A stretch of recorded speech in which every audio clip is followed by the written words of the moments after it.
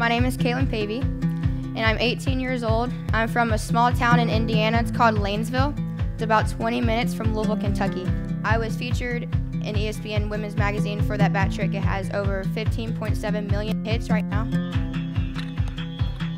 A little bit about my high school career. I had a 498 batting average, stole 89 bases. I was the first female or male from my high school to make first team All State honors also the first male or female in my school to play in the North versus South All Star game for Indiana.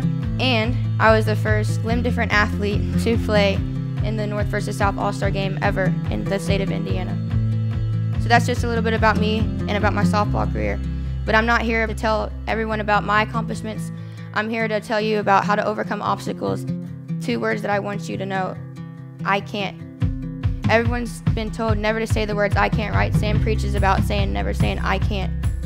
So one of my I can't moments in my life that I can remember when I was little was my kindergarten teacher telling me that I need to learn how to tie my shoes. She said I either needed to learn how to tie my shoes or get Velcro shoes. And I didn't want to be different than anybody else. So my dad sat me down and he said I couldn't go outside until I learned how to tie my shoe. It took me an hour and a half to learn how to tie one shoe, but I had to adapt. That's one word that everybody needs to learn to adapt to overcome little bitty things in your life. Another example was I wanted to play college softball. So I have a thing called a glove transfer. I was really slow at it, and to get to the next level, I had to be fast, right? I would work and practice doing my glove transfer, and now I am 0.2 seconds slower than someone with two arms throwing a ball, getting my glove transfer. So I had to keep adapting and keep working to overcome those obstacles to get to where I want to be today. How many of you have been told no before? Everyone's been told no, right?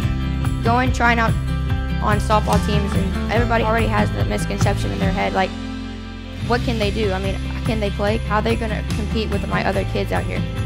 Maybe you can't run fast enough. Maybe you can't throw the ball fast enough. But I changed that word, I can't, to continue adapting and never turning back. You continue to adapt any obstacle that's in your way. You continue to push if you have that determination and the heart and the courage to keep going, you continue to adapt. Never turn back to the old circumstance that you were in.